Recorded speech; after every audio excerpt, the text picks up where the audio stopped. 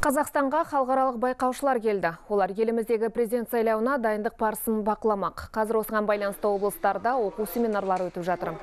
Бұл жолғы жиын Петропавлда ұйымдастырылды. Өңірде саяси науқан кезінде 663 сайлау учаскесі жұмыс істейді.